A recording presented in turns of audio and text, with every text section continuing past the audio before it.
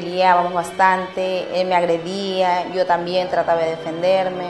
Porque el papá se fue y me dejó abandonada, me dejó botada aquí en Guayaquil, en casa ajena, donde yo lloraba, sufría. Quiero cambiar mi vida. Quiero que cambie mi esposo, mis hijos.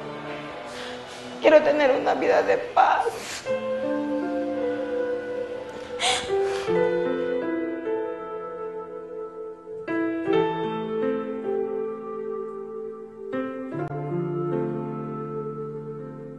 Antes solamente vivíamos peleando.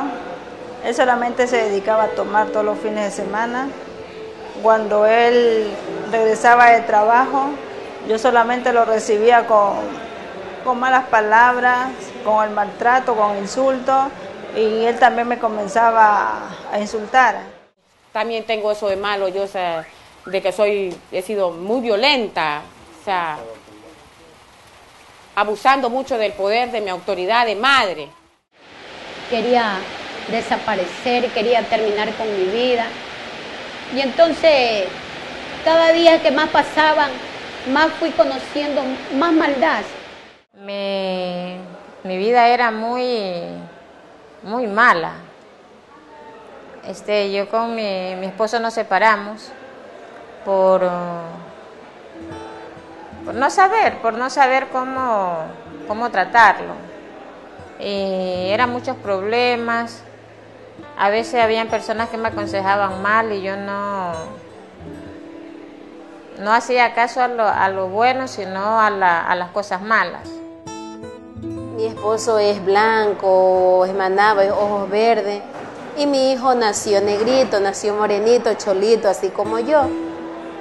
Cuando él lo vio a mi hijo, él sintió decepción, porque me imagino que él esperaba que su hijo naciese igual que él. Y desde ahí yo traigo una lucha con mi esposo acerca de mi hijo. Yo fui una mujer abandonada por mi esposo cuando tenía tres niños pequeños y quedé con mi cuarto niño de seis meses de embarazo y vivía llena de ese, de ese odio, de ese rincor, de esa herida, eran unas heridas profundas.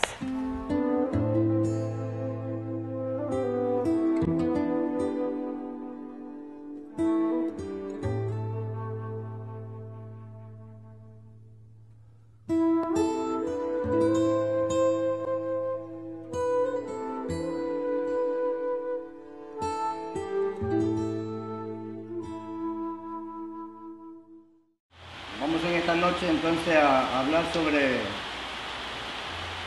uno de los temas que a ustedes más les impactaron. ¿Cuál fue su tema que les impactó? Eh, a mí fue la ira.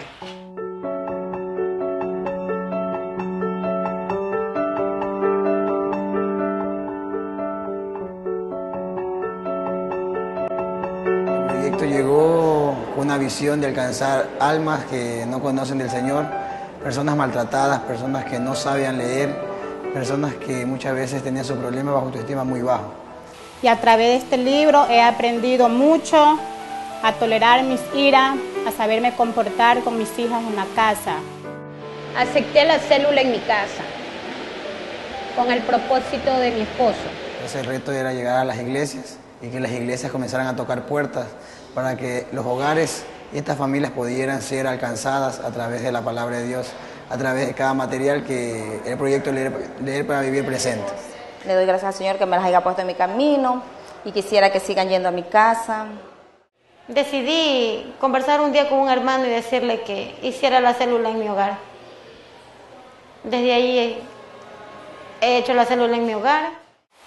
Y ahora que se está haciendo las células, entonces nosotros como estamos aquí cerca, venimos para acá hacer la, célula y, y, aprender más sobre, sobre Dios.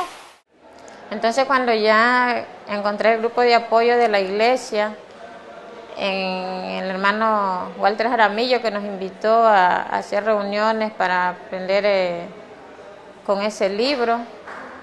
Entonces ahí había el buen trato a los niños, el buen trato entre esposos.